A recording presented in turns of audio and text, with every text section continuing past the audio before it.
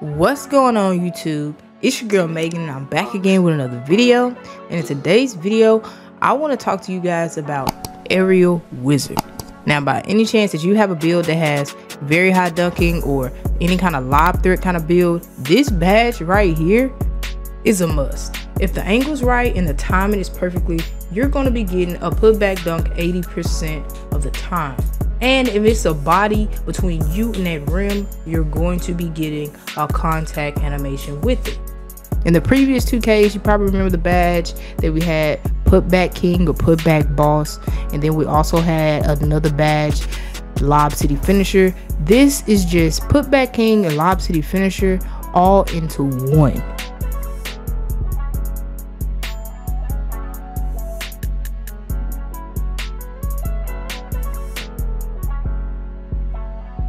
You're going to get so many putback dunks, so many clips, so many contact dunks, everything off of this badge alone.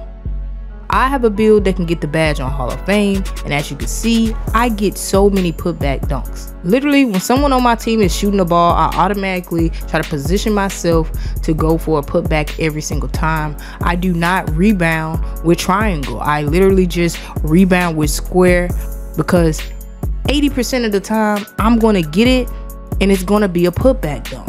And having a build with very high finishing, that's just going to help you get more contact dunk clips. Like you get putback contact dunks, and it's going to help you finish those crazy contact lob animations. And especially if someone is throwing a lob through traffic you can finish those lobs a lot more when you have when you have your aerial wizard badge fully maxed out now let's say for instance you're struggling with timing lobs or you don't know how to catch lobs or you don't know exactly how to trigger putback dunks, right? Let's talk about it. All right, so for putback dunks in particular, let's talk about that first. For putback dunks, everything to consider the tier level of your aerial wizard badge, your dunk rating, and your offensive rebound rating. Now, you can still get putback animations with having a low rebound it's all about timing and positioning. But if you do have a higher officer rebound, like for example, my build, I have a 70 officer rebound on this build that you see in the video. And of course, you can't forget about your vertical attribute rating, anything dealing with dunking and stuff like that. Of course, vertical is going to come into play. So for this clip right here, I want you guys to pay attention to the angle that I'm running at. Trying to get a putback dunk 100% of the time is going to be hard because you have to try to guess and determine which way the offensive rebound is going to go. In this clip in particular, the shooter was coming from, they were shooting the ball out of like the right corner and it bounced off the left side of the rim and I was running straight down the middle and I was able to catch it and get a crazy putback animation to finish it off. That doesn't always happen. Say if I was also running from the right, thinking that the ball was going to bounce towards the right side, and I would totally miss that putback dunk animation. So it's all about you guessing and trying to determine where that offensive rebound is going to go. Now in this clip right here, I'm going to be getting a contact putback dunk animation. All right, the shooter is shooting from the right side. The ball is going to bounce off the left side of the rim, and you see my player running at an angle Coming towards the left, it's a body in between me and the rim. But hey, 96 driving dunk, 86 vert, Hall of Fame aerial wizard, gold posterizer. Have no fear, I'm coming through. I see red. gonna finish it every time. If I put my hands on it in a putback dunk animation, I'm finishing that. It's over with. Next clip coming up is going to be a lob animation, a contact lob animation. As you can see, he's throwing it. The defender is getting forced into this lob animation.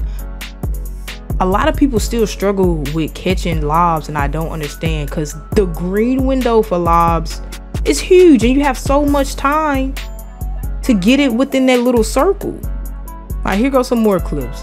Look how big the circle is all you have to do is get it in that green window. The green window for lobs is huge. It's the biggest green window in the game. I promise. Just take your time and pay attention to the little circle. You're gonna dunk it 90% of the time. You're gonna finish that. Ever since 2K introduced the lob meter, I don't understand how people are struggling with that, man. I really don't. You don't even have to look at it half the time. Just press square and you're gonna get it. You're gonna finish it. But that is pretty much it for this video. I hope you guys enjoyed it. Make sure you leave a like, comment down below, subscribe to the channel if you are new, and don't forget to hit that notifications bell. Please make sure you're making use of your aerial wizard badge, man. If you got a Duncan build, go crazy with the aerial wizard badge. It's hard to stop, it's hard to defend.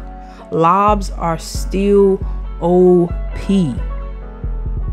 Very much so OP.